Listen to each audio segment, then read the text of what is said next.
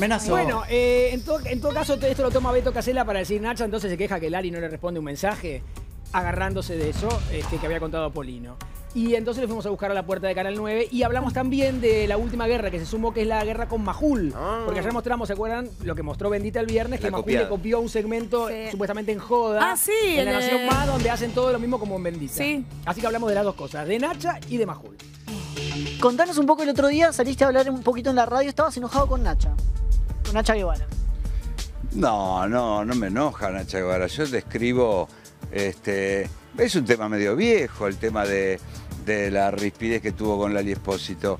Pero es verdad que Nacha Guevara no, con todo el talento que es y que fue, uno es talento hasta el último día, no hay que hablar en pasado. Pero por ahí siempre se autopercibió un poco más de lo que, de lo que es, ¿no? En cuanto a sus modos, sus maneras. Bueno, la hemos visto al aire, ¿no?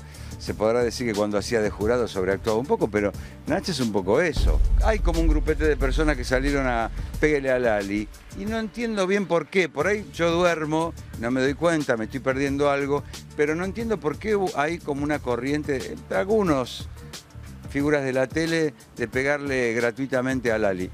Si cometió el pecado de tardar en contestarle un mensaje a, a Nacha Guevara, bueno, sé que se tendrá que hacer una disculpa pública, me parece que no es tan grave. Nacha eh, tiene una historia de, de desplantes y de no contestar mensajes y de... Es, siempre fue una persona complicada, de carácter.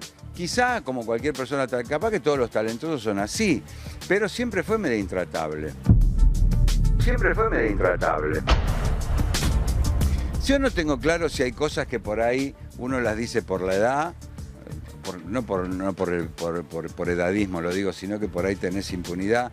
Pero cuando dijo lo de hace no tanto, que Charlie estaba mejor con drogas, la verdad que yo no sé si el mundo Nacha Guevara, si se lo cree, si hace un personaje, si es así de este, mm, disruptiva como es con, con los demás, pero la verdad, yo me acuerdo que cuando tenía mi programa de entrevista, la entrevista que más costó organizar y producir fue la de ella, que, viste, pu- puso eh, eh, planteos desde que qué remis la iba a buscar, eh, la del aire acondicionado, y tanto que se frustró, nunca pudimos hacer la nota.